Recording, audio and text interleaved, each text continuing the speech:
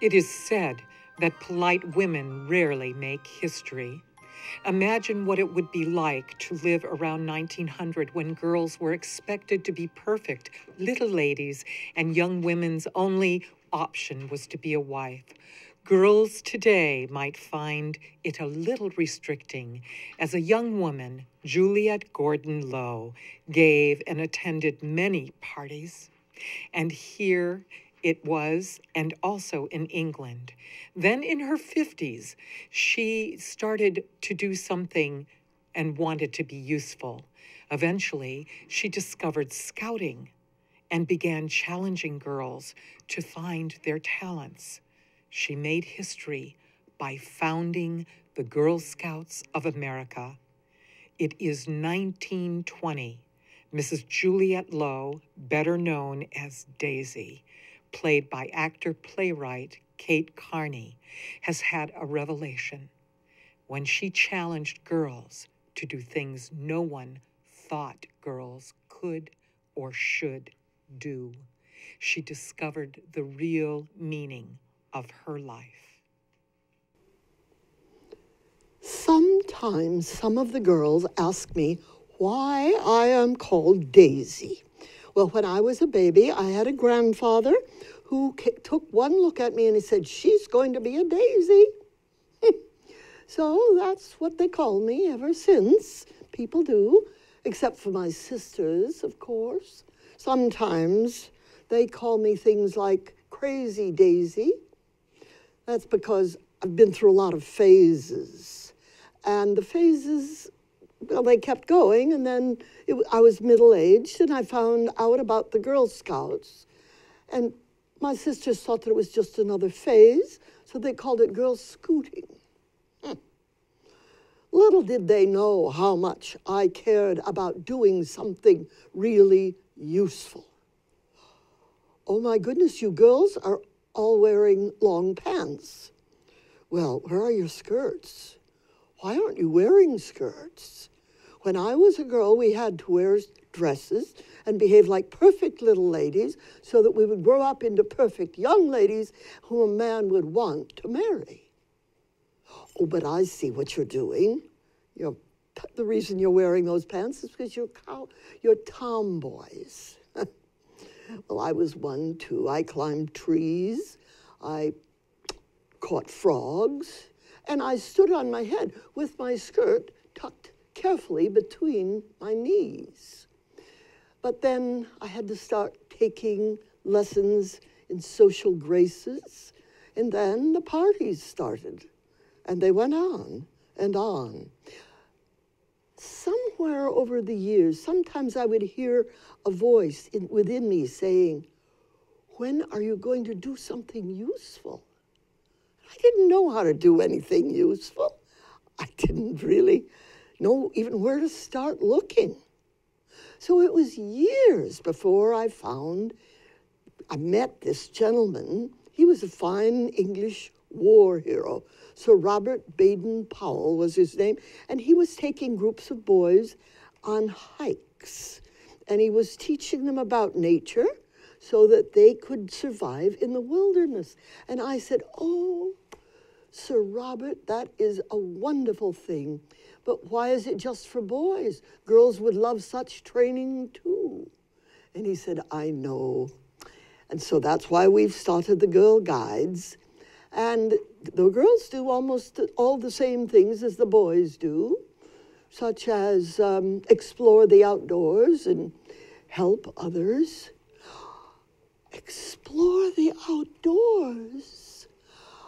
Oh, I had been exploring the outdoors every summer from the time I was five until I was 15 with my cousins and cousins and brothers and sisters.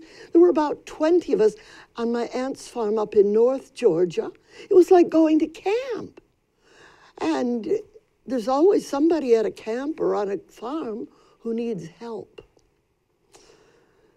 For example, one summer I saw that the shirts that belonged to the farm workers' sons were getting kind of worn out. They were really faded. And I told my girl cousins that we should sew new ones for them. and none of us knew how to sew. But I had seen a left handed lady sew once, and so I taught everybody, and then we started working, and it's slow going. We, called, we formed a sewing club and called ourselves the Helpful Hands.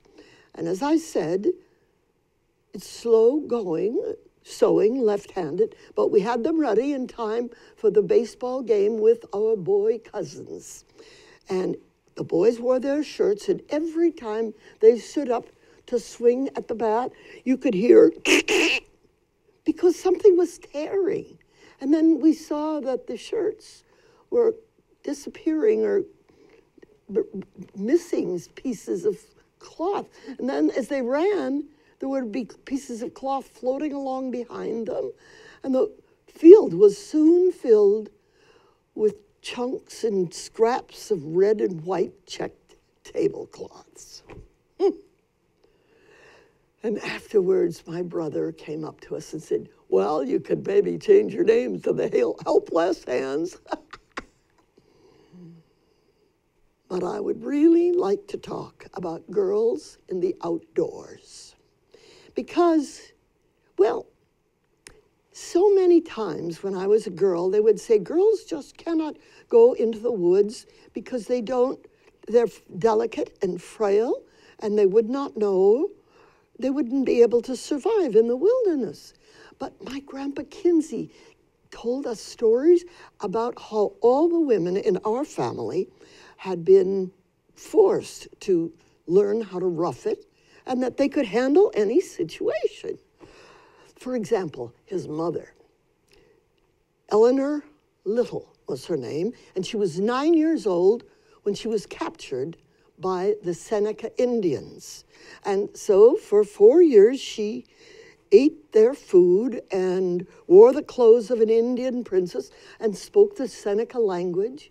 And for those same four years, her parents kept sending messages to Chief Cornplanter asking could they please see their daughter. And finally, he allowed as they could have one visit. Inesca's canoe scooted up onto the shores of Lake Erie she hopped out of the canoe and ran to her mother, and the two of them stood there hugging for a moment as Cornplanter looked at them and said, The child must have her mother. I will go back alone. And he paddled away, and she never saw him again. But she spoke of him with affection for the rest of her life. You see, I think girls really love the wilderness. Now, I had one link with the wilderness in that I had a hunting lodge up in the Scottish Highlands. So as soon as I could get up there, I started a girl guide troop. And those girls walked miles over these huge hills every Saturday because they were learning so much. Because we were teaching them things like how to build a fire and cooking outdoors and giving first aid. Oh, I felt this was a perfectly wonderful thing to do. I felt like we were a success, and I could not wait to get back to Savannah, Georgia, my hometown. And so it was 1912 when I got back to Savannah, and I called up my cousin Nina, who was the president. No, she was principal of a girls' school, and I said, Nina, I want you to come right over here. I have something wonderful for the girls of Savannah and all America, and we are going to start it tonight. Well, those girls were not as interested as I thought they'd be until they found out that the girls that the girls in the girl guides played sports. And those girls wanted to be stronger and more confident.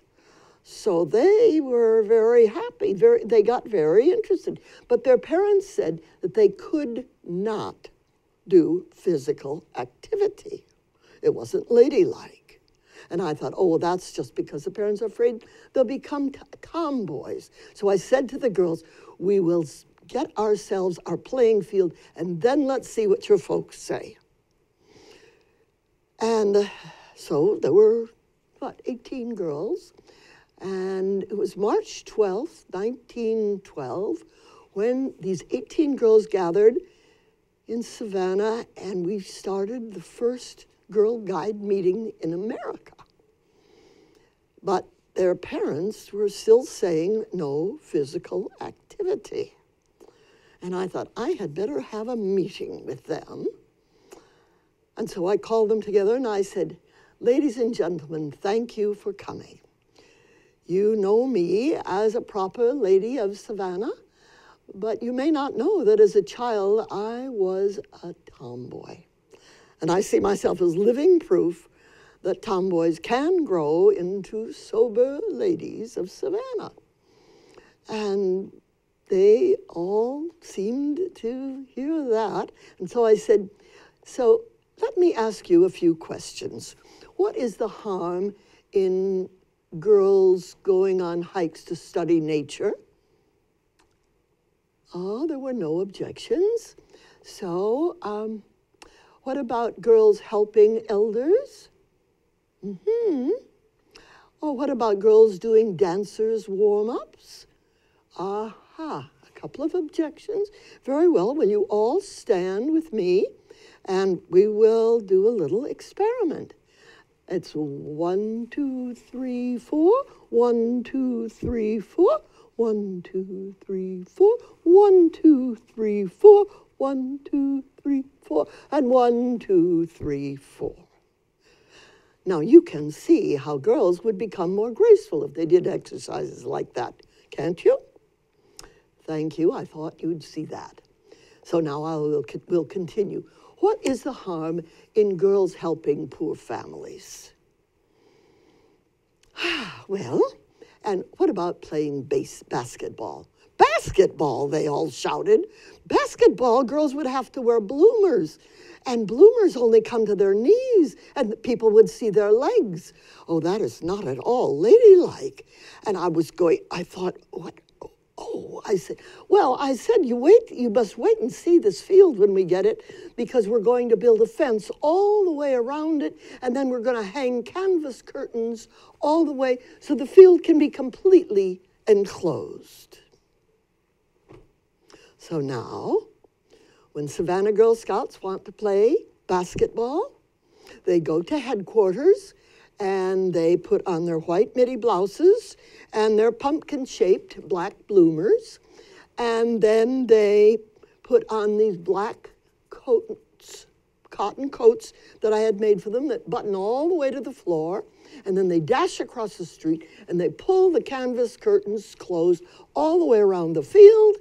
And they take off their coats and they play basketball to their heart's content and no one will ever see their legs, and their reputations as good girls will be safe.